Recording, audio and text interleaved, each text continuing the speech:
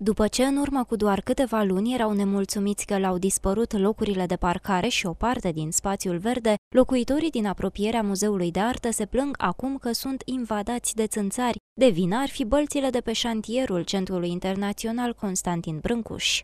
Sunt de câteva, de câteva săptămâni, așa să Din ce cauză? Eu așa zic că din cauza apei care este acolo. Nu știu acum.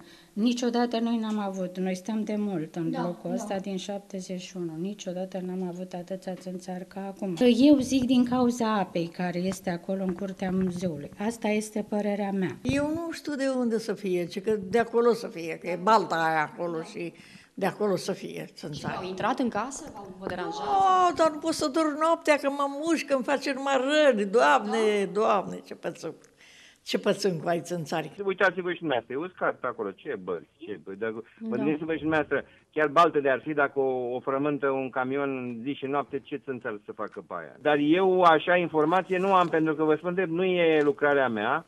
Într-un timp mă mai chemau pe, și pe mine la ședințele care le făceau, după care nu m-am mai chemat.